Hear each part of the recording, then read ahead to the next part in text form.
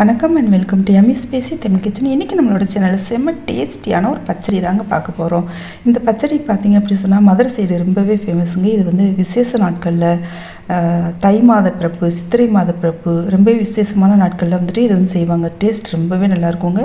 இது சாதத்தில் போட்டு சாப்பிட்லாம் சப்பாத்தி சொ தொட்டு சாப்பிட்லாம். அடுத்து வந்துட்டு தோசைக்கு நடுவில் வச்சுட்டு நம்ம சாப்பிட்லாங்க. இது ரொம்பவே சுலபமாகவும் பண்ணிடலாங்க. இது எப்படி பண்ண சொல்லிட்டு பார்க்கலாம். வாங்க வீடியோக்குள்ளே போகலாம். வீடியோக்குள்ளே போகிறதுக்கு முன்னாடி ஒரு சின்ன விஷயங்க. இப்போ தான் நீங்கள் சே நம்ம சேனலுக்கு புதுசாக வரீங்க அப்படின்னு சொன்னால் சப்ஸ்கிரைப் பண்ணிக்கோங்க.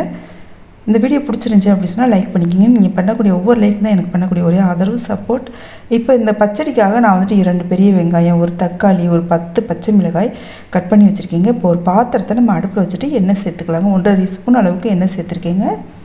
இப்போ இதுக்கு பார்த்தோம் அப்படின்னு சொன்னால் பூசணிக்காய் இனிப்பு பூசணிக்காய் இருக்கு இல்லையா? இந்த இனிப்பு பூசணிக்காய் வந்துட்டு பொடியாக கட் பண்ணி வச்சுக்கலாங்க. தோல் சீவிட்டு.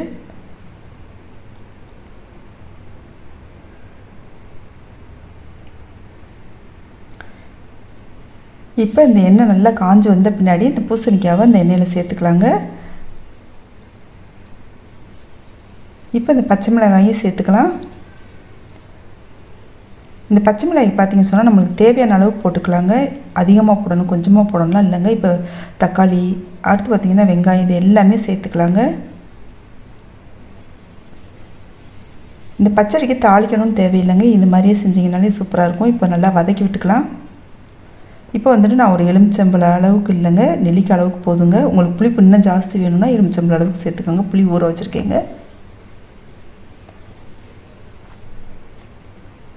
நம்ம நெல்லிக்காய் அளவு சைஸ் புளி ஊற வச்சாலும் இது கரெக்டாக இருக்குங்க. இப்போ உப்பு சேர்த்துக்கலாம். இந்த பச்சடிக்கு தேவையான உப்பு சேர்த்துட்டு வதக்கி விட்டுக்கலாங்க. இது வதங்கும் போது நல்லா மசிஞ்சு வந்துடுங்க இந்த பூசணிக்காயெல்லாம் இப்போ வந்துட்டு புளி தண்ணி சேர்த்துக்கலாம். நம்ம இதுக்கு மேலே நம்ம தண்ணி சேர்க்க போகிறது இல்லைங்க இவ்வளோதாங்க இதிலே பார்த்தீங்கன்னு சொன்னால் நல்லா மசிஞ்சு வெந்து வந்துருங்க இந்த பச்சை மிளகா அந்த பூசணிக்காய் ஒரு இனிப்பு புளிப்பு காரம் கலந்த டேஸ்ட்டில் ரொம்பவே அட்டகாசமாக இருக்குங்க இந்த சைடிஸ் இது வந்து ஒயிட் ரைஸ்லேயும் போட்டு பெரட்டி நம்ம சாப்பிடலாம். இப்போ பாருங்கள் நல்லா சுருள சுருள வந்துருச்சு பாருங்கள் எண்ணெய் பிரிஞ்சு வந்துருச்சு பாருங்கள்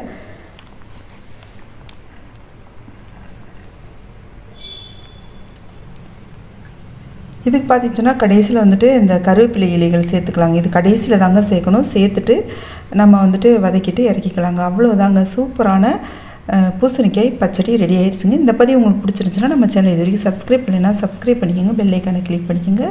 ஃப்ரெண்ட்ஸ் அண்ட் ஃபேமிலிக்கு ஷேர் பண்ணுங்கள் லைக் பண்ணுங்கள் கமெண்ட் பண்ணுங்கள் thank you so much take care bye